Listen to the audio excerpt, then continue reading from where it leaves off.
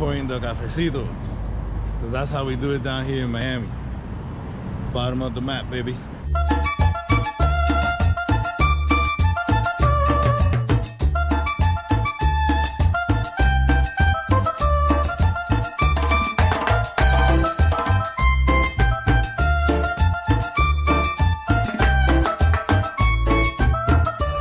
Hello everyone and welcome to Space for Three. If you're new to our channel, please make sure you hit that subscribe button and ring that notification bell so that you can be informed of all our adventures. Today, we're transmitting to you live from the bottom of the map at 305 Emayeyo, and the destination is Basetown. We're gonna be taking y'all to see a huge boombox, because y'all already know Miami is home of the bass. So come along, we got plenty of space. G.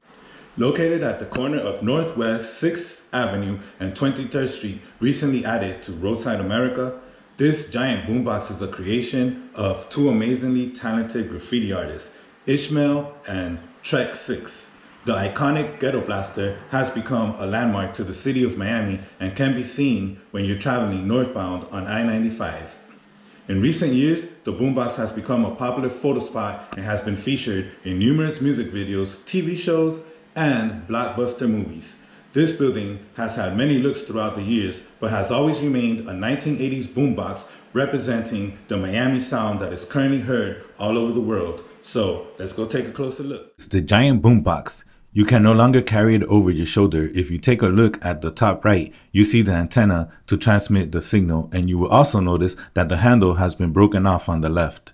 The words Everlasting Bass refer to a song from the title 1988 Miami bass smash hit single performed by Rodney O and Joe Cooley. Quote, Some people can't take it, they try to plead the case, but they can't get enough of everlasting bass. Beneath the colorful equalizer, you find control knobs popping out made out of trash buckets. These knobs would have been used to set the volume, adjust the treble, and turn up the bass. Here up top, you find an analog style FM dial made out of wooden frames popping out the building, highlighting Miami bass, hip hop, and R&B radio stations. From left to right, you see VUM, Power 96, 99 Jams, Y100, and Hot 105. So as we walk over to the left hand side of the building, we will find a knob made out of another trash bucket. And this is how you would tune into your favorite radio station. Now, what is a boombox without a good old fashioned cassette deck? Back in the days, most tape players in Miami would for sure be blasting a mixtape from yours truly, DJ 2nen, or DJ Laz, DJ Uncle Al, rest in peace, Mr. Mix, DJ Magic Mike, DJ Dream, Megamix, or any of these other legendary Miami mixtape DJ pioneers. So here we are at the back of the boombox, and it's only right to find Miami's own, the legendary Fresh Kid Ice. Fresh Kid Ice was one of the members of the most controversial rap group, the 2 Live Crew, who took the freedom of speech trial all the way to the Supreme Court and won. So for those of you who do not know, the Miami bass sound emerged in the early 1980s from the ghettos of Miami at the time, such as Liberty City, My Hood, Little Havana, Opa-locka, Cutler Ridge, Wynwood, Allapattah, Goulds, Carol City, Overtown, Little Haiti, and Miami's neighbor, Hialeah. The Miami bass sound has been a blueprint to a lot of producers in hip hop, trap, drum and bass, EDM, and that 808 drum still continues to be present in today's music.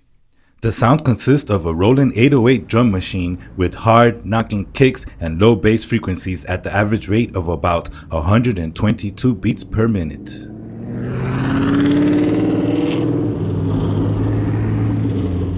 All right, y'all, that's a wrap. Hope y'all enjoyed the visit here at the Giant Boombox with a little bit of that Miami bass history. Please keep in mind that the Boom Box is located in a heavily populated area of Miami, so expect crowds of people and lots of traffic. And for all you out of towners, please watch your back. Protect your neck. With that being said, make sure you like, subscribe, ding the bell, and all that good stuff. And don't forget to meet new faces See new places. and always leave a space for love. Bye. Peace.